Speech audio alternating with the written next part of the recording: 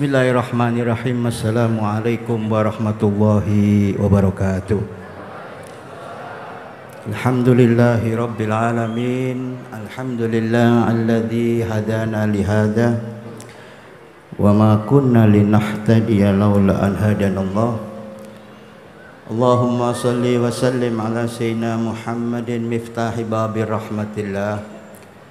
عدد ما في علم الله صلاة وسلاما دائمين بدوام الملك الله وعلى آله وصحبه ومن والاه ولا حول ولا قوة إلا بالله قال سبحانك لا علم لنا إلا ما علمتنا إنك أنت العليم الحكيم ربي اشرح لي صدري ويسر لي أمري واحلل عقدة من لساني يفقه قولي آمين يا رب أما بعد حضرة الكرام والمحترم العلماء الأعزاء yang sama-sama kita hormati dan sama-sama kita muliakan para alimul ulama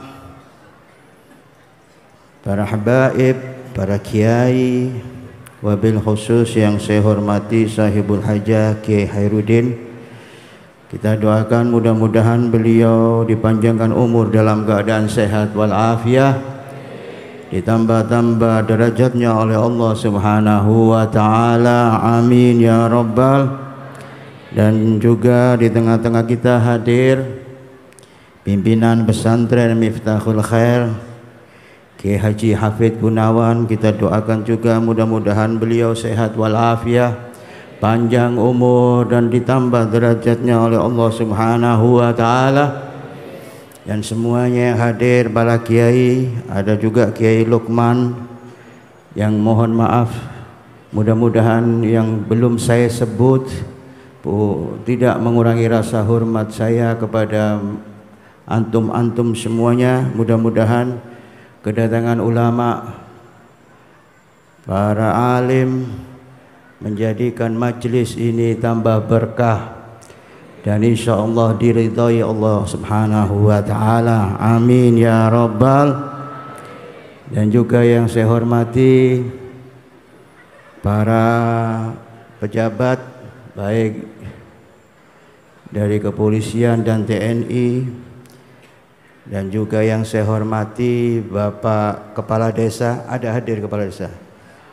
Bapak Lurah, Bapak RW, Bapak RT semuanya dan juga yang saya hormati saudara kita Banser Insya Allah semuanya ini dapat kemuliaan dari Allah, dapat berkah dari Allah Subhanahu wa taala. Amin ya rabbal dan juga hadirin hadirat yang insya Allah dimuliakan Allah Subhanahu wa taala.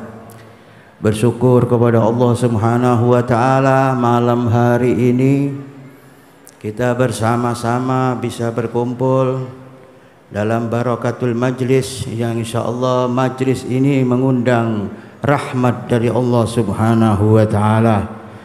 Majlis ini mengundang mahfirah dari Allah Subhanahu wa taala mengundang pengampunan kepada kita semuanya. Dan mudah-mudahan tidaklah kita keluar bubar kita dari tempat ini melainkan dosa-dosa kita telah diampuni oleh Allah Subhanahu wa taala. Kesalahan kita diganti dengan kebaikan.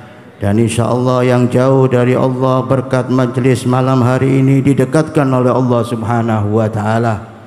Yang hari ini hatinya tidak gembira mudah-mudahan digembirakan oleh Allah Subhanahu wa taala. Dan insya Allah mudah-mudahan yang kesempitan rezeki Allah lapangkan rezekinya berkat majlis pada malam hari ini. Dan sekaligus mudah-mudahan hajat kita semuanya dikabulkan oleh Allah Subhanahu wa taala. Alhamdulillah Mari kita bersama-sama bersyukur kepada Allah. Terutama kita panjatkan puji syukur kita kepada Allah Karena kita diberikan tetap Islam dan iman. Dan mudah-mudahan terus menerus kenikmatan yang diberikan oleh Allah ini ditambah-tambah oleh Allah Subhanahu wa taala. Sehingga kita nanti mati dalam keadaan husnul khatimah. Amin ya rabbal salawat serta salam. Mudah-mudahan tetap tercurah kepada manusia yang agung manusia yang mulia Nabi Muhammad sallallahu alaihi wasallam yang mudah-mudahan dengannya kita semuanya diaku menjadi umat Nabi Muhammad sallallahu alaihi wasallam yang mudah-mudahan dengan Nabi Muhammad kita semuanya selamat dari neraka masuk surga bersama Nabi Muhammad sallallahu alaihi wasallam amin ya rabbal hadirin kaum muslimin yang dimuliakan Allah sebetulnya saya ini cuma partai tambahan ini ya. Ini kalau partai tambahan ini bukan partai yang penting. Orang itu kalau nonton tinju, iya, nggak lihat partai tambahannya, partai utamanya. Anda kan sering nonton dulu tinju Mike itu kan partai tambahannya banyak, gak sabar kita nunggu Mike Tysonnya daripada partai tambahannya. Sebetulnya malam hari ini mudah-mudahan kita doakan Habibana Abah Habib Lutfi mudah-mudahan bisa hadir. Amin ya robbal. Dan kalaupun ya tidak hadir mudah-mudahan kita semua dapat keberkahan dari beliau. Amin ya robbal alamin. Hadirin kaum muslimin yang dimuliakan Allah. Malam hari ini kita berkumpul dalam acara peresmian masjid. Luar biasa, masjidnya bagus, masjidnya mewah. Luar biasa, mudah-mudahan majlis ini menjadikan kemanfaatan bagi kita. Majlisnya, masjidnya sudah bagus, maka kita wajib seorang muslim selalu hati kita condong kepada masjid-masjid yang telah ada di daerah kita. Jangan karena masjidnya bagus, masjidnya sudah luas, sudah lapang, tapi jamaahnya yang hadir tambah sedikit. Jamaah sholat jamaahnya cuman waktu tertentu saja. Hari Jumat rame, sholat subuh tiga orang. Nah ini repot. Untuk apa kita bangun semegah ini? Untuk apa kita perluas masjid ini? kalau kemanfaatannya bagi kita kita kurang manfaatkan masjid padahal luar biasa hadirin ya saya nggak ke mana-mana malam hari ini saya tidak banyak panjang cerita mudah-mudahan dengan adanya masjid masjid ini kita semuanya tambah semangat ibadah kepada Allah Subhanahu wa taala. Salat kita selalu berjamaah di masjid ini baca Quran kita mudah-mudahan tambah semangat di dalam masjid ini karena masjid ini adalah baitullah rumah Allah Subhanahu wa taala jangankan salatnya jangankan ibadahnya kita membersihkan masjid itu adalah maharul linuril ain kata Nabi Muhammad sallallahu alaihi wasallam barang siapa yang membersihkan masjid ini adalah jadi maharnya bidadari nanti di surganya Allah Subhanahu wa taala. Jadi jangan kalau masjidnya kotor kita biarkan saja, tetapi bersihkan masjid dan haram hukumnya mengotori masjid karena masjid ini tempat yang suci, tempat yang bersih di mana di sini juga bukan kita saja tetapi malaikat Allah Subhanahu wa taala juga hadir di majlis ini. Jadi mulai besok ya kalau masjidnya ini kurang bagus atau kurang rapi rapikan. Nggak usah pakai ditunggu nggak usah pakai disuruh. Ya jangan ada momen-momen saja kita bersihkan masjid ya ini kaum laki-laki kalau anda ingin nanti masuk surga dapat bidadari maka bersihkan masjid. Mau bidadari nggak? Bidadari ini lebih cantik dari istri anda. Saya tidak menghina istri anda tidak. Tetapi bidadari ini luar biasa Pak. Di surganya Allah Subhanahu wa taala. Dan insya Allah yang suka atau gemar membersihkan masjid maka mereka lah yang beruntung yang akan nanti banyak istrinya di dalam surganya Allah Subhanahu wa taala. Amin ya rabbal. Pingin kawin sama bidadari apa enggak? Pingin. Kalau di dunia ini bidadari bidadarian ya. Kalau di surga bidadari bener. Jadi yang sekarang belum kawin gak usah kawin dah, cukup bersihkan masjid saja. Kan begitu Pak Kiai? Iya, Kan banyak sekarang ini pemuda-pemuda jomblo takut kawin, tapi harapannya, hayalannya pingin istri yang cantik. Gak usah kawin dah, bersihkan masjid aja. Karpetnya bersihin, kamar mandinya bersihin. Insya Allah nanti dikawinkan Allah di surganya dapat bidadari yang cantik. Atau bapak-bapak ya, yang punya keinginan punya istri dua, punya istri tiga. Nah, yang sekarang mungkin tidak berani, nggak tahu saya alasannya apa. Tidak berani karena sama yang tua atau tidak berani untuk biaya hidup, maka ayo semangat kita bersihkan masjid. Insya Allah saya yakin ini Rasul Shallallahu Alaihi Wasallam bicara bersihkan masjid, masjid maka anda akan dapat bidadarinya surga. Amin ya Rabbal Hadirin kaum muslimin yang dimuliakan Allah Subhanahu wa taala, memang untuk urusan kebaikan, amal soleh seperti malam hari ini kita datang di majelis ini kadang-kadang mohon maaf kita ya ini yang beruntung karena datang di majelis ini. Kadang-kadang mohon maaf saudara kita malas datang ke majelis. Malas untuk sholat di masjid, malas untuk ibadah, malas untuk berbuat amal soleh dikarenakan apa? Karena kita ini masih tidak bisa menguasai hawa nafsu. Di mana hawa nafsu kita dikuasai oleh syaitan. Maka biasa kalau majlis ini majlis-majlis seperti ini ya majlis zikir majlis apa saja majlis ilmu sebentar saja setengah jam sudah ngantuk kita. Sebentar saja kaki kita sudah kesemutan. Sebentar saja kita sudah tertidur. Padahal majlis ini luar biasa Kenapa? Karena kita tidak bisa lepas daripada godaan setan. Terlepas daripada godaan setan. Karena di sini Pak, semakin tempat baik, semakin banyak setannya untuk menghalangi kita. Karena setan ini jelas di Al-Qur'an sudah bersumpah. Di dalam ayat Al-Qur'an ini setan ini sudah bersumpah untuk menggoda manusia. Bersumpah untuk uh, melemparkan manusia untuk tidak berbuat amal yang baik. Apa katanya setan?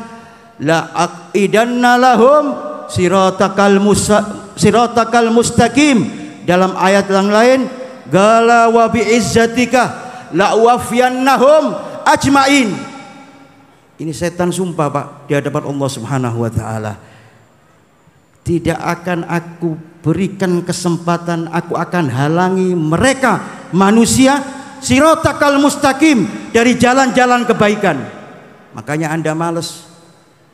Sholat di masjid males ada apa sholat masjid? Ya mendingan sholat di rumah saja. Besok kan bisa nanti kan bisa. Ini setan pak sebetulnya Bukan siapa-siapa, setan yang menggoda kita untuk datang ke majelis atau ke masjid untuk menunaikan sholat atau ibadah. Ini setan, Pak. Dan setan tadi saya katakan sudah bersumpah, galawa bi izzatika. Demi keagung keagunganmu ya Allah. Loh, setan kok bilang percaya dengan Allah? Setan ini yakin sama Allah, Pak. Setan ini ya yakin sama Allah, cuma setan tidak taat kepada Allah. Setan selalu uh, ter, tidak pernah bertakwa kepada Allah. Bahkan setan ini banyak melanggar syariatnya Allah. Maka setan tadi terlaknat Pak. Maka bersumpah bahwa kalian semua manusia tidak akan aku lepaskan kecuali akan aku belokkan akan aku sesatkan daripada ke jalan yang baik. Jadi kalau anda sekarang males sholat di masjid saya untuk jalan kebaikan maka anda juga adalah sepupunya setan faham nggak faham yang malas-malas ini ya ini adalah perbuatan setan yang menggoda anda mengerti mengerti nggak tan setan Udah gak beribadah setan.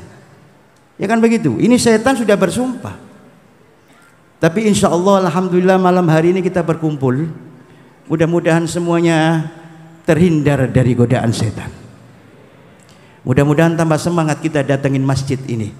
Dan insya Allah kita istiqomah sholat berjamaah di masjid ini. Amin ya robbal. Maka bagaimana? Karena Nabi Muhammad SAW sudah menerangkan kepada kita bagaimana kita supaya aman dari godaan setan. Bagaimana supaya kita selamat dari godaan setan? Maka Nabi mengatakan al husunu lil muslimina minas syaitani salasun. Untuk benteng bagi kaum mukmin agar terhindar dari setan maka masuklah di dalam tiga kelompok ini. Apa saja? Nah husnun masjidun. Masuklah bentengnya Allah di dalam masjid nah kalau sudah masuk masjid anda terlepas daripada setan pak akan selamat dari setannya Allah Pak. Jadi kalau anda senang di masjid, maka anda terhindar daripada godaan setan. Setan akan lari Pak. Setan gak bisa mengganggu seorang yang masuk di dalam rumahnya Allah. Setan tidak akan bisa mengganggu seseorang ketika ibadah dengan Allah Subhanahu wa taala. Maka kuncinya agar selamat dari godaan setan, maka datangi masjid-masjid, Pak. Jangan sholat Jumatnya saja yang rame. Tetapi lima waktu kita, ayo kiat pak, sholat berjamaah. Jangan sholat sendiri, nggak apa-apa. Cuman sayang, kita masih masih kuat tidak ada udur, apalagi masjidnya ini dekat dengan rumah warga. Lah, ini yang dekat-dekat tetangga masjid ini hukumnya hampir wajib pak. Iya, hampir diwajibkan untuk datang ke masjid pak untuk meramaikan masjid. La salata li jaril masjid illa fil masjid. Tidak sempurna seseorang solatnya ketika orang tadi bertetangga di masjid tetapi tidak solat di masjid. Artinya solat sendiri di rumah. Tidak sempurna. Karena apa? Di depan rumahnya ada masjid. Samping rumahnya ada masjid. Di belakang rumahnya ada masjid. Tapi mereka solat sendirian. Ini enggak sempurna solatnya Pak. Maka sempurnakan solat Anda. Datangi masjid-masjid Allah subhanahu wa ta'ala saya katakan tadi al-husunu menjadi benteng bagi orang mukmin akan ter terlepas daripada godaan setan masuk masjidnya Allah Subhanahu wa taala. Yang kedua, husnun al-dzikru husnun ad-dzikru wa dzikir kepada Allah ini termasuk bentengnya setan. Benteng daripada kita selamat daripada setan. Berzikir, Pak. Suka berzikir. Ya. Suka nggak kata berzikir, Pak? Berzikir suka nggak kita ini?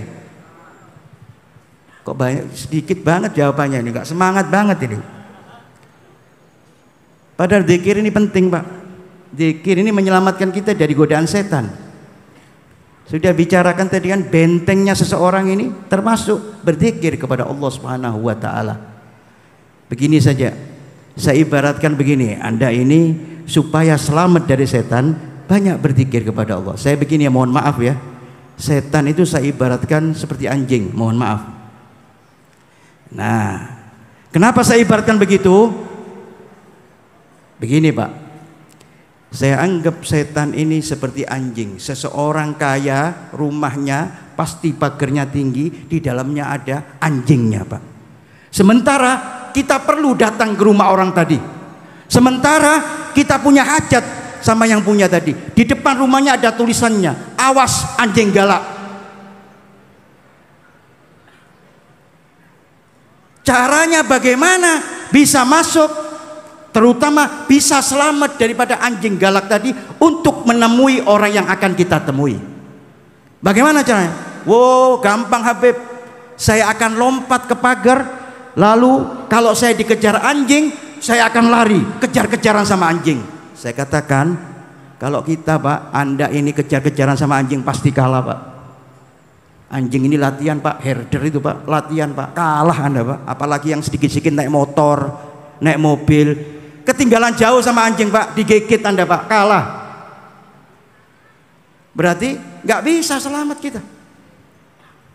Baru masuk dikejar anjing, resikonya digigit. Terus ngomong, wah kalau begitu Habib, seandainya saya digigit anjing, saya juga gigit anjingnya. Lah ini goblok ini. Tambah bodoh lagi. Anda pasti kalah pak. Anjing ini latihan pak. Gigit pak. Iya kalah meskipun Anda gigit di masjid pak. Apa gigitan dengan anjing. Anda makan tahu tempe pak. Sedangkan anjing anjing ini pak makan daging sama tulang pak. Habis bagian Anda pak. Hah? Habis. Apalagi yang terlatih pak.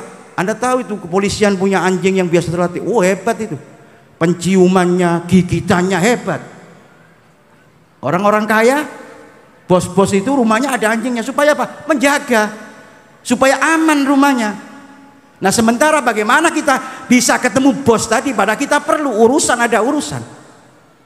Wah repot Habib kalau lompat kita nggak bisa dikejar anjing digigit juga kita kalah ya mendingan pulang saja Habib. Nah ini orang putus asa.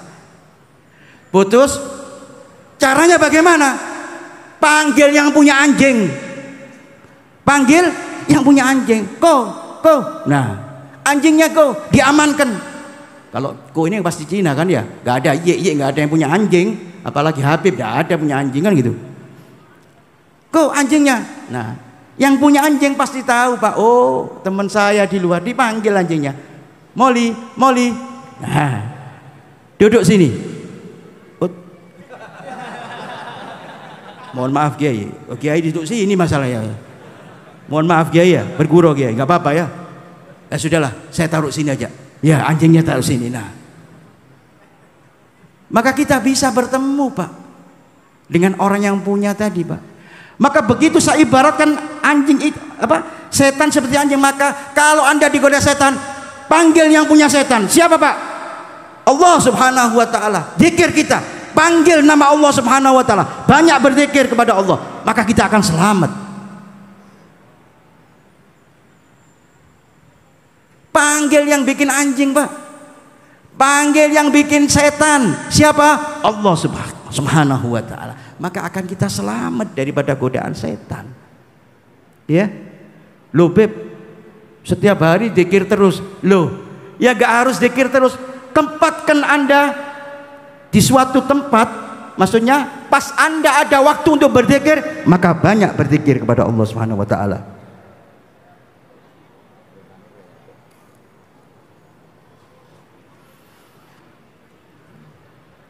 lanjut bisa dimengerti understand Masya Allah Jadi begitu Pak, panggil Pak yang punya setan Pak. Caranya apa? Berzikir. Wah dikir terus beb, nggak kerja. Siapa yang suruh dikir terus? Atur waktu dikir Anda. Karena apa? Nggak bisa dikir ini Pak. Kita sibuk dengan kerja nggak bisa, bareng nggak bisa. Tapi ketika kita berzikir nggak ganggu kerjaan kita. Kerja berzikir bisa.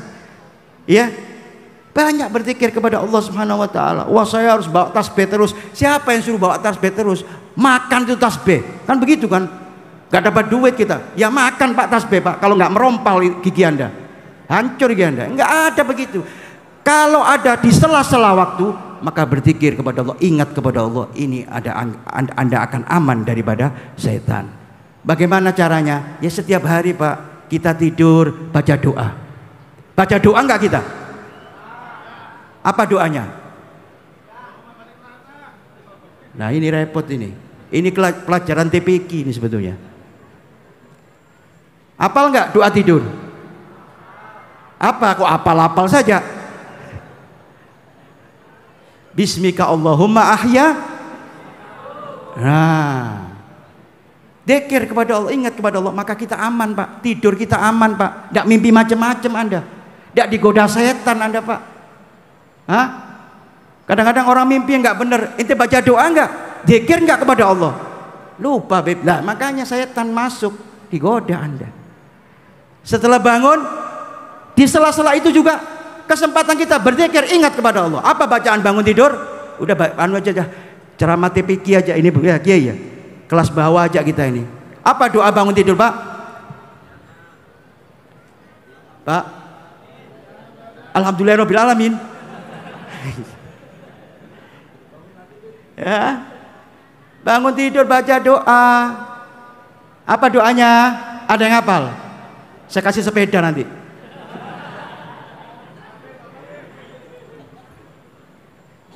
Alhamdulillahilladzi ahyana ba'dama amatana. Nah itu dibaca. Sela-sela ada waktu kita berzikir kepada Allah. Mau masuk kamar mandi? Berzikir kepada Allah pak. Kaki kiri. Apa bacaan doanya? Nah repot ini. Langsung masuk langsung kencing ya. Apalagi yang kebelet sudah. Lupa doanya. Cepet-cepetan masuk kamar mandi. Apa? Allahumma Ini apa Allahumma inni a'udzubika minal hubusi Nah, di situ nanti kita akan selamat, Pak, dari kamar mandi, Pak. Kamar mandi tempatnya kotor, tempatnya setan. Maka banyak orang yang jatuh di, di kamar mandi nggak selamat, Pak. Hati-hati Anda. Jangan sekedar masuk aja. Oh, rumah saya, Beb, sering ngaji. Tetap Anda ketika masuk kamar mandi pakai zikir kepada Allah. Masuk kaki kiri, keluar kaki kanan. Sebelum masuk kita berzikir kepada Allah. Ingat kepada Allah Subhanahu wa taala. Setelah keluar dari kamar mandi, repot ini. Nggak apal kayaknya ini. Saya tahu dah. Apa Pak? Besok Anda datang ke Kiai Herudin, belajar lagi. Belajar berzikir kepada Allah. Nah, sudahlah. Kalau yang ini kan banyak yang kawin banyak yang kawin. Sudah banyak yang berumah tangga ya. Ibu-ibu kan banyak ini. Ketika kita kumpul dengan istri Pak, bacanya doa apa Pak? Allahumma barik lana fima rozak fima tanah wa kina lo itu doa makan Beb. iya sama-sama makan kita Ya Allah, Masya Allah Iya Allahumma jannibni syaitan Wa jannibi syaitan Ma tanah Baca doa apa? Supaya apa? Supaya tadi kumpul kita dengan istri kita nggak campur dengan setan maka saya jamin kalau baca doa itu Pak, misalkan janin Anda jadi, insya Allah jadi anak yang soleh wa solihah. Jangan amin dulu, lakukan.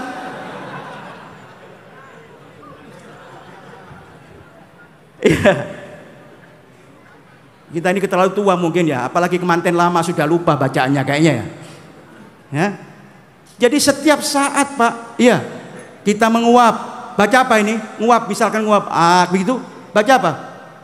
A'udzubillahi minasyaitonirrajim. Supaya apa? Setan nggak masuk. Loh beb, setan kan bisa masuk ke tempat yang lain. Memang benar. Tapi ketika kita baca itu, setan yang mungkin masuk bisa keluar lagi. Bersin, baca apa? Kalau kita bersin baca apa? Ini ringan-ringanan ini, nggak usah kelas tinggi-tinggi sudah. Capek kita ini ya. Bodoh tua kita ini ya. Apa bacanya? Ketika kita sudah bersin, al Terus yang dengar baca apa? Yarhamukallah. Nah. Kenapa Pak? Perlu Pak. Kadang-kadang bersin ini Pak mengeluarkan saraf-saraf ini Pak mengeluarkan banyak penyakit Pak. Kalau kita baca doa bersyukur kepada Allah, insya Allah penyakit yang di, di dalam tubuh kita keluar Pak. Jangan haji. Nah, ini kuda ini. Iya. Gak baca alhamdulillah, iya. Apalagi yang wah, wah repot ini. Hati-hati. Maka hadirin kaum muslimin yang dimuliakan Allah ayo. Selama ada tempat ada waktu di situ kita bisa mengingat Allah berzikir kepada Allah maka hendaklah kita berzikir kepada Allah. Agar apa? Agar selamat daripada godaan setan dan ratunya zikir tahu ratunya zikir Pak Ratunya Dekir tahu nggak? Saya ganti dah. Rajanya Dekir tahu nggak pak? Rajanya Dekir ini La ilaha illallah La ilaha La ilaha Baca banyak la ilaha illallah pak Hadis kursi ini pak La ilaha illallah hisni kata Rasulullah wasallam. La ilah bacaan la ilaha illallah adalah bentengku kata Allah. Wa man dakhalal hisni amin amin adabi. Barang siapa yang masuk dalam bentengku, maka selamat dari adabnya Allah Subhanahu wa taala. Mudah-mudahan kita selamat semuanya. Perbanyak la ilaha illallah Muhammadur Rasulullah, ya. Jadi nggak perlu pakai merasa terganggu, harus ada waktu tidak. Selama ada kesempatan untuk mengingat Allah, maka ingat Allah Subhanahu wa taala. Mau tidur, mau keluar rumah, mau masuk masjid, semuanya Pak. Kalau kita lakukan itu, maka mustahil Pak tudibuni bidikrillah. Maka setan tadi terbakar Pak. Aku terbakar dengan seseorang yang selalu mengingat Allah Subhanahu wa taala. Termasuk yang satu lagi masuk ke masjidnya Allah Subhanahu wa taala. Ya, kembali lagi Pak. Masuk ke masjid ini harus pakai akhlak Pak, pakai adab. Iya. Jangan kita ke tempat-tempat yang eh, tempat-tempat uh, lain baju kita bagus-bagus. Mau kondangan baju kita luar biasa. Masuk masjid baju kita seenaknya saja. Ini anak-anak muda ini. Iya. Ibu-ibu kalau masuk masjid, Bu, jangan mukenanya disampirkan begini saja. Iya, pakai adab ditutup, Bu. Pakai adab. Terus bau apa? Pakaian kita perlu dibersihkan ini. Jangan ini anak muda-muda ini pakai kaos oblong. Iya, nggak eh, dicuci sudah lima hari nggak dicuci baunya kecut lagi ya terus tulisan belakangnya coblos nomor satu nah ini repot ini iya karena di Quran kita disuruh pakai adab ya bani adamah hudu zinatakum indah kulli masjid wahai anak cucu Adam perbaik perbagus baju kita ketika kita masuk di dalam masjid Nah ini ada adabnya Pak. Iya. Jangan seenaknya. Iya. Kalau enggak kita ganggu sebelah kita, saudara kita yang sebelah ini. Kalau baju anda enggak dicuci, enggak rapi, enggak mesti harus baru, tapi rapi. Ya, pakai sunnahnya Nabi, pakai minyak segala. Ini untuk keamanan kita Pak. Karena ini bentengnya umat Islam. Seorang yang beriman kepada Allah selamat daripada setan. Jadi banyak berzikir, masuk ke masjid. Yang ketiga apa, Beb? Nanti yang ketiga. Berseri saja. Kalau kita ketemu, nanti saya akan terangkan. Karena ini acara kita berdua. Apa? Dua acara, zikir dan peresmian masjid. Mudah-mudahan malam hari ini kita berzikir kepada Allah Subhanahu wa taala. Mudah-mudahan zikir kita diterima oleh Allah Subhanahu wa taala. Hati kita yang keras mudah-mudahan jadi lembut. Ala bidzikrillahi tatmainnul qulub. Karena dengan berzikir ingat kepada Allah, maka hati seseorang yang keras bisa lembut karena berzikir kepada Allah. Ya, kalau pingin hati Anda lemes, enak duduk di majelis ini gampang, bisa mendengar ceramah, senang dengan bacaan Quran, maka banyak berzikir kepada Allah supaya hati kita lembut. Kalau tidak, maka bahaya. Kalau Anda banyak ngomong, ya, banyak aktivitas yang tidak di situ diisi dengan zikir, maka hati kita akan keras. Apalagi yang banyak ngomong ibu-ibu, ya. Mohon maaf kalau di sini nggak mungkin ini. Ya, pagi-pagi sudah ngomong ya, apalagi sampai menggunjing seseorang. Nah, ini penyakit ini, hati-hati. Ayo kita ganti adat-adat kita yang keliru ini berzikir kepada Allah. Jangan banyak ngomong kecuali kita selalu mengingat Allah Subhanahu wa taala. La taksirul kalam bi khairi dzikrillah. Fa inna kasratul kalam bi ghairi dzikrillah nurisul gaswatul galab wa inna abadan nas minallahi galbun kasih Jangan banyak omong kata Nabi kecuali Anda banyak berzikir kepada Allah Subhanahu wa taala. Karena banyak omong ini bisa menggelapkan hati dan bisa menjauhkan manusia dengan Allah Subhanahu wa taala. Karena apa? Hatinya jadi keras, jadi beku. Kenapa? kita tidak banyak berzikir kepada Allah malah kita berbicara yang tidak ada manfaatnya. Naudzubillah zaman sekarang banyak bicara-bicara yang enggak manfaat. Bicara-bicara yang kadang-kadang apa menyebar fitnah menyebar hoak. Kalau bahasa sekarang ini nggak boleh Pak. Kita ganti berzikir kepada Allah Subhanahu wa taala agar kita aman Pak. Ya aman daripada godaan setan. Terakhir Pak. Orang dikir ini Pak Orang yang sering di masjid ini Pak, itu sudah digambarkan oleh Nabi Muhammad SAW. Meskipun manusianya di bumi, tapi derajatnya sudah di ars Pak. Apa kata Nabi Muhammad SAW? Ketika Isra Mi'raj, ketika di kan, ketika malaikat Jibril tidak sampai mengikuti Nabi Muhammad masuk ke arsnya Allah, maka Nabi Muhammad melihat bayangan Pak. Bayangan luar biasa. Di mana dilihat itu kok manusia kok luar biasa di dalam cahayanya Allah Subhanahu wa taala. Ra'aitu fi lailatul mi'raj rajulun muhayyabun binuril arsillah. Aku melihat di malam Lailatul Mi'raj itu ada seseorang berapa manusia itu di, dalam lingkaran apa nur cahaya dari Allah Subhanahu wa taala. Maka Nabi Muhammad tanya, karena tidak ada manusia lagi kecuali Muhammad. Malaikat Jibril pun tidak ikut dengan Nabi Muhammad. Maka man ya Allah? Siapa ini ya Allah? Amalun amalun malakun au nabiul mursal. Apakah ini dari golongan malaikat atau para nabi? Apa kata Allah Subhanahu wa taala? Bal hada min ummatak ya Muhammad. Tidak, mereka ini orang ini semua ini daripada golonganmu. Kaget Nabi Muhammad. Loh, golongan umat saya? Iya. Apa yang ibadah mereka lakukan? Apa, Pak? Yang pertama, rajulun lisanuhu laki-laki atau seseorang ya selalu berzikir kepada Allah Subhanahu wa taala. Orangnya masih hidup, Pak, derajatnya sudah diangkat oleh Allah, Pak. Kakinya di bumi tapi sudah di arasnya Allah Subhanahu wa taala. Rajulun lisanun rotbun bidzikrillah Seseorang yang selalu berzikir kepada Allah, maka derajatnya diangkat di, di, di mana di arasnya Allah dapat cahaya dari Allah Subhanahu wa taala. Yang kedua siapa? Nah, rajulun galbuhu muallakun fil masajid.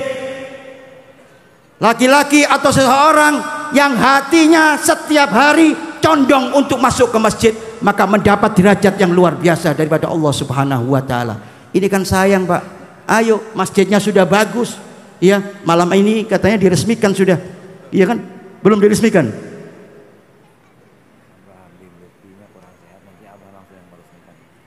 Api Bani saja gantian dia. Iya, masjid sudah bagus. Ayo, ini adalah benteng bagi orang-orang yang beriman untuk Anda selamat daripada godaan setan. Lalu berzikir kepada Allah Subhanahu wa taala. Luar biasa, Pak. Ya, saya kira itu saja ya ya nggak panjang-panjang karena masih ada uh, keperluan lain. Mudah-mudahan yang sedikit ini bisa manfaat kepada kita semuanya dan insya Allah mudah-mudahan melalui majlis yang penuh berkah ini semuanya digabulkan hajatnya oleh Allah Subhanahu Wa Taala dan insya Allah mudah-mudahan malam hari ini kita tambah semangat ibadah kepada Allah Subhanahu wa taala, tambah cinta kepada Allah dan cinta kepada Muhammad sallallahu alaihi wasallam dan kita selalu lisan kita selalu basah dengan berzikir kepada Allah, langkah kita dimudahkan untuk selalu ke menuju ke masjidnya Allah untuk beribadah ke masjidnya Allah Subhanahu wa taala. Amin ya rabbal. Mudah-mudahan hadirin yang kurang sehat mudah-mudahan disehatkan oleh Allah Subhanahu wa taala.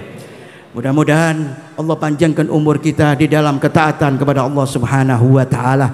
Mudah-mudahan yang kemarin kesempitan rezeki hari ini berkat zikir ini, berkah pertemuan ini, mudah-mudahan Allah luaskan rezeki kita semuanya. Amin ya rabbal dan insya Allah mudah-mudahan semuanya mati dalam keadaan khusnul khatimah. Dan mudah-mudahan yang terpenting mudah-mudahan kita semuanya masuk surganya Allah Subhanahu wa taala berserta ayah ibu kita, keluarga kita masuk surganya Allah bersama dengan guru-guru kita, para kiai kita, para habaib kita, para sahabat Nabi Muhammad sallallahu alaihi wasallam dan insyaallah masuk surganya Allah bersama Nabi Muhammad sallallahu alaihi wasallam. Amin ya rabbal Rabbana taqabbal minna innaka antas samiul alim wa tub alaina innaka antat tawwabur rahim. Rabbana atina fid dunya hasanah wa fil akhirati hasanah wa qina adzabannar. Allahumma jamal marhumah wa tafarruqan bihi tafarruqan ma'sumah wala tajal fina wala bi rahmatika ya arhamar rahimin ya arhamar bi Mustafa Muhammad sallallahu alaihi wasallam al-fatihah